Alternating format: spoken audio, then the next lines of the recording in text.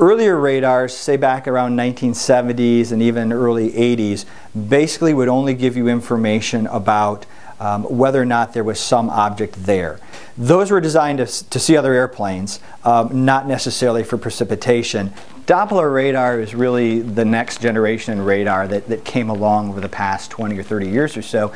And what it basically does is it sends out an electromagnetic pulse that's going to be scattered back off of raindrops. The radar can tell whether that raindrop is moving away from the radar or coming toward the radar. And since those raindrops basically follow the wind, you can tell what the wind direction is doing also. This is the actual um, radar image from the Dexter tornado um, of March 15th of this year.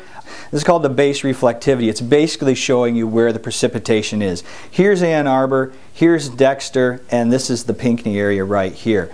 So the image that we're seeing is actually, again, this is the one of the precipitation, and this is the image at the time that the tornado warning was actually issued. And what you can see from this is you can kind of see this little hook, and this is sort of the classic hook echo that you often see with a, a tornadic supercell thunderstorm.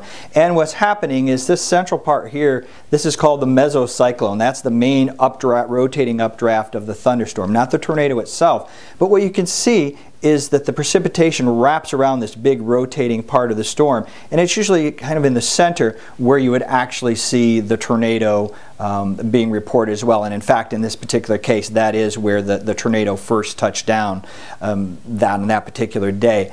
The other image is one that usually isn't shown on TV. This is actually the wind information that you can get from the Doppler radar.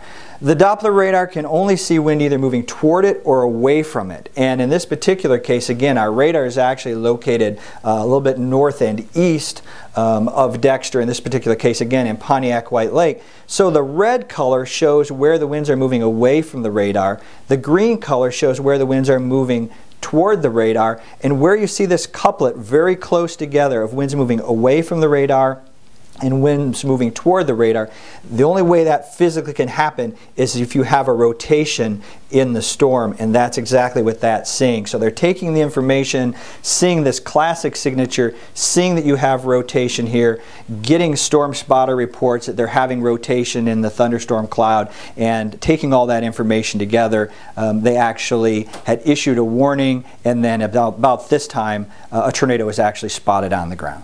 I think one of the key things about this type of research and, and people studying tornadoes and tornado formation is exactly a good example of that is what happened in Dexter.